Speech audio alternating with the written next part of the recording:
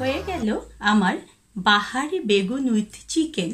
দেখুন, আসসালামু আলাইকুম viewers, welcome to my channel. আমি কাউসারা নুপুর আজ আপনাদের জন্য নিয়ে এসেছি চিকেন এবং বেগুন দিয়ে মজাদার একটা রেসিপি আর আমি এই রেসিপিটার নাম দিয়েছি বাহারি বেগুন উইথ চিকেন। আমার এই রান্নাটা করতে আমার লাগবে বেগুন। আমি এভাবে বেগুনগুলোকে দুই ভাগ করে এর গাটাকে সুন্দর করে এভাবে কাচিয়ে নিয়েছি। আমি এখানে চিকেন ব্যবহার করব। চিকেনগুলো আমি এখানে ব্রয়লার নিয়েছি। ব্রয়লার মুরগি যেটাকে বলে বিদেশি মুরগি, সেটাকে আমি অনেক ছোট ছোট টুকরো করে কেটে নিয়েছি। আমার লাগবে পেঁয়াজ বাটা। আমি এখানে কিছু টমেটো পিউরি করে নিয়েছি। আমার লাগবে বাদাম বাটা। আদা বাটা, রসুন বাটা, পেঁয়াজ কুচি। আমি এখানে কয়েকটি কাঁচামরিচ ব্যবহার করব। মশলার জন্য আমি এখানে দারচিনি, ছোট এলাচ এবং লং ব্যবহার করব। আর আমার ওদিকে লবণ, হলুদ, শুকনো মরিচের গুঁড়ো আর তেল তো লাগবেই। আসুন এবার মূল রান্নাতে আমরা চলে যাই। চুলায় একটি প্যান বসিয়ে দিয়ে সেখানে কিছুটা তেল ঢেলে দেব এবং তেলটা যখন আমাদের গরম হয়ে যাবে, তখন এখানে আমরা আমাদের যে পেঁয়াজ কুচি রেখেছিলাম, সেটা দিয়ে প্রথমে আমরা বেরেস্তা করে নেব। পুরো পেঁয়াজটা আমি এখানে দিয়ে দিলাম। এটা দিয়ে আমি সুন্দর লাল করে আগে বেরেস্তা ভেজে নেব। এই বেরেস্তা ভাজার মধ্যে আমরা আরেকটা কাজ করব। সেটা হচ্ছে আমরা আমাদের বেগুনগুলো এবং মুরগিগুলোকে লবণ এবং হলুদ মাখিয়ে নেব। হাফ চা চামচ পরিমাণ হলুদ আমরা এভাবে বেগুনে দিয়ে দেব এবং হাফ চা চামচ পরিমাণ লবণ এভাবে দিয়ে এটা আমরা মাখবো। যেহেতু বেগুনগুলো ধুয়ে ড্রাই করে রাখা, তাই এই বেগুনগুলো মাখার সময় আমরা এখানে হাফ চা চামচ পরিমাণ তেল দিয়ে দেব। তাহলে আমাদের মশলাটা সুন্দর করে বেগুনের মধ্যে লেগে যাবে। দেখুন, এভাবে করে সুন্দর করে বেগুনের গায়ে আমরা হলুদ এবং লবণটা মাখিয়ে দেবো। আবার ওদিকে আমাদের যে চিকেনটা রয়েছে, সেই চিকেনের মধ্যে আমরা এভাবে হাফ চা চামচ হলুদ এবং হাফ চা চামচ পরিমাণ লবণ দিয়ে দেব। দিয়ে এই চিকেনটাও আমরা এভাবে সুন্দর করে মেখে নেব। আমাদের পেঁয়াজটা কিন্তু ওদিকে বেরেস্তা হচ্ছে। এখন আমরা পেঁয়াজ বেরেস্তা হওয়ার জন্য অপেক্ষা করব।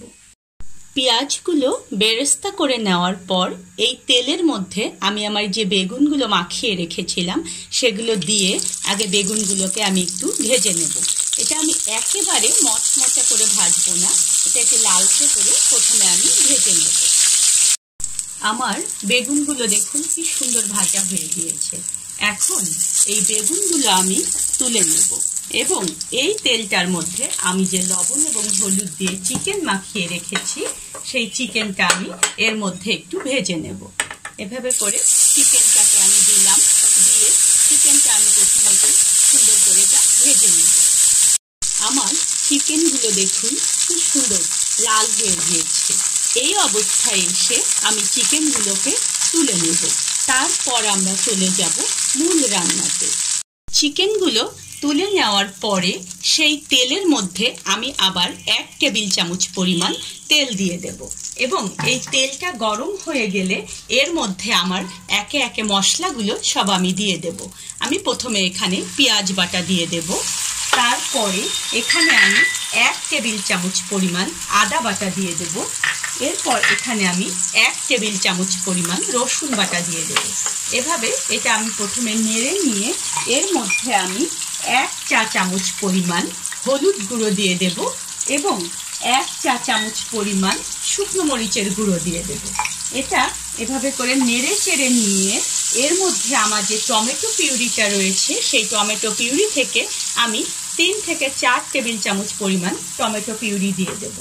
এই মশলাটা এভাবে করে প্রথমে আমি সুন্দর করে কষিয়ে নেব।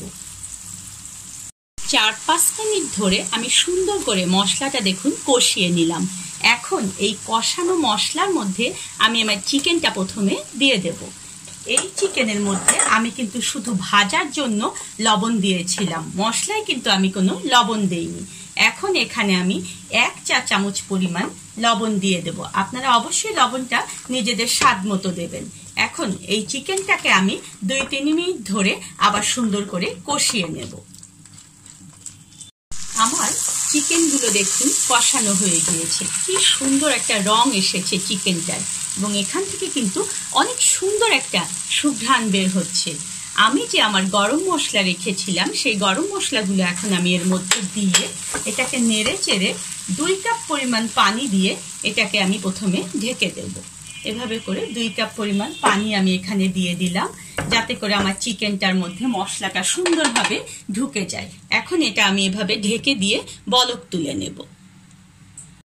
দশ মিনিট পরে আমার চিকেনগুলো মনে হয় সিদ্ধ হয়ে গিয়েছে। কারণ এই চিকেনগুলো কিন্তু ভাজতেই অনেকটা সিদ্ধ হয়ে যায়। এগুলো কিন্তু ব্রয়লার মুরগিটা, সিদ্ধ হতে অনেক কম সময় লাগে। এখন এখানে আমি আমার ভেজে রাখা যে বেগুনগুলো রয়েছে, সেই বেগুনগুলো এভাবে সুন্দর করে এখানে আমি দিয়ে দেব। এভাবে সাজিয়ে বেগুনগুলো আপনারা দিয়ে দেবেন। বেগুনগুলো দিয়ে তরকারিটা কিন্তু আপনারা আর নাড়বেন না। তাহলে ভাজা বেগুনগুলো আপনাদের ভেঙে যেতে পারে। এই অবস্থায় দিয়ে আমরা আমাদের যে বেরেস্তা করে রেখেছিলাম, সেখান থেকে কিছুটা বেরেস্তা এর উপরে এভাবে করে ছিটিয়ে দেব। এবং আমি যে কাঁচামরিচগুলো রেখেছিলাম সেই কাঁচামরিচগুলো সুঘ্রাণের জন্য আমি এখানে দিয়ে দেব। আর আমি বাদাম বাটা থেকে এক টেবিল চামচ পরিমাণ বাদাম বাটা এভাবে একটু পানির সঙ্গে গুলিয়ে এটা চারপাশ সেভাবে করে দিয়ে দেব। এখন এই তরকারিটা আমরা কিন্তু আর নেড়ে দেব না। এভাবে করে আমরা সুন্দর করে এটাকে ঢেকে দেব। দেখুন, আমাদের তরকারিটার রং কেমন সুন্দর হয়েছে। এখন এই অবস্থায় আমাদের রান্না কিন্তু একেবারে শেষের দিকে। আমি যে আরেকটু বেরেস্তা রেখেছিলাম, সেখান থেকে আমি একটু বেরেস্তা এখানে ছিটিয়ে দেব। এবং এই তরকারিটাকে যদি আপনারা আরও একটু টেস্টি করতে চান, তাহলে এক চা চামচ পরিমাণ চিনি আপনারা এর চারপাশে ছড়িয়ে দেবেন। চিনিটা কিন্তু এই তরকারিকে মিষ্টি করবে না জাস্ট এর টেস্টটাকে একটু বাড়িয়ে দেবে। এই অবস্থায় এসে আমরা এটাকে আবার দুই মিনিট ধরে রান্না করে আমাদের ডিশে ঢেলে আমরা এটা টেবিলে দিয়ে দেব। হয়ে গেল আমার বাহারি বেগুন উইথ চিকেন। দেখুন, এর বেগুনগুলো দেখতে কত সুন্দর এবং খেতেও কিন্তু খুবই মজা। আর চিকেনের এই ভিন্ন ধর্মী আইটেমটা খেয়ে দেখবেন যে খাওয়ার সময় এটা অনেক মজা লাগবে। আমার এই রেসিপিটা দেখে অবশ্যই আপনারা রান্না করে আমাকে জানাবেন যে কেমন হলো। ধন্যবাদ সবাইকে আমার সঙ্গে থাকার জন্য। আর আমার নতুন নতুন ভিডিওগুলো পেতে হলে আমার চ্যানেলটাকে অবশ্যই সাবস্ক্রাইব করে পাশের বেল আইকনটা বাজিয়ে রাখবেন। দেখুন কত সুন্দর।